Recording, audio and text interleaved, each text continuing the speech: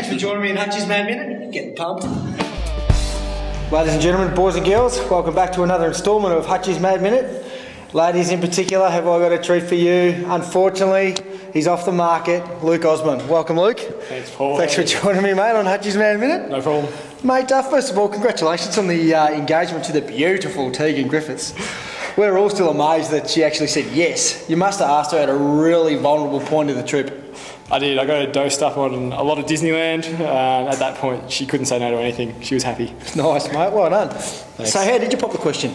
Uh, it's not not a big romantic story like everyone would like to think. We were just back in the hotel room and had a really good day, and I just sort of showed her a picture of the ring on the phone and said, "We marry me." And On the phone?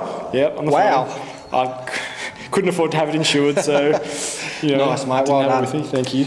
Mate, generally when I get home from training sessions, I'm, I'm sore, I'm looking at my arms, I've got scratches, I've got new bruises. Mate, have you called any fouls at training this year? Yes, but only when guys lost their arms. Nice, nice. Okay. I'd, uh, I would say you are the, the best defensive player in the squad, hand down. Uh, but people, It's because I foul everyone. Yeah. but uh, people don't realise how good a scorer, in particular, you were in your uh, junior days. Have you been in Dan's ear about running some plays for you to get some shots up? No, no, mate. I'm all about the team now. As long as, as long as we get wins, I'm happy. Well, we're not winning, mate. Guess I need to get some more shots up There you go.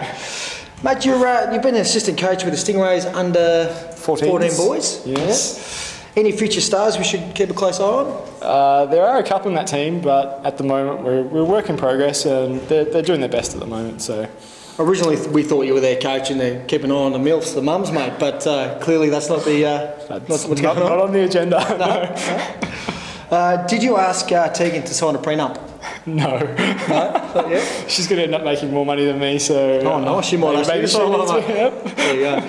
Mate, Stingray, Stingray uh, teammate question time. I want you to put uh, one of the boys in the category. Obviously, the first one, I've been saying all the boys, can't say ours. Same thing applies here, mate. First to marry. Jason Reardon. Definitely. Yeah, he's definitely. definitely the dark horse of the group. Signed, sealed, and delivered that one, I think. I think so. Uh, we'll come out of the closet during the season. Chris. Yeah, yeah, yeah, you're right, actually. Don't want a room with on the road, and why? Uh, well, probably you. Oh, wow. Just a little too rowdy for my liking. I've changed, mate. uh, most annoying? Uh, Steph. Yep, definitely. Who has ADD? Steph. Yep, nice, mate. Mate, uh, you, you've been around the traps a, a long time. You've played some, you know, rep basketball for the state. You know, you've played SEABL. Um, any words of wisdom you can give the uh, the juniors? You know, we, we get them down there in, in bucket loads watching our games. You know, they're great supporters of the clubs, and they do look to you guys. Uh, any words of wisdom for them to, to get to where they want to get to? I'd just say to work hard, listen to your coaches, and just don't be lazy. When you go out there, just give it all you've got. and don't leave anything on the floor. Nice, mate. Are we all getting invited to the wedding? Yes. Damn. Uh, finally, mate, um, this team is very, very sociable, uh, in particular after the games. You know, we, we do hang out, we're a nice tight group. Uh, you've been missing.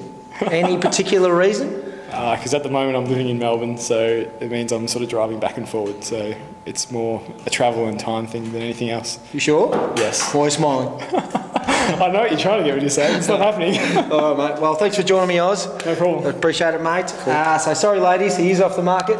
Big Chris Elcher, I don't know how to say his last name. You'll probably see him on an episode of Hoarders because he is an absolute pig. We'll be on next week. Cheers.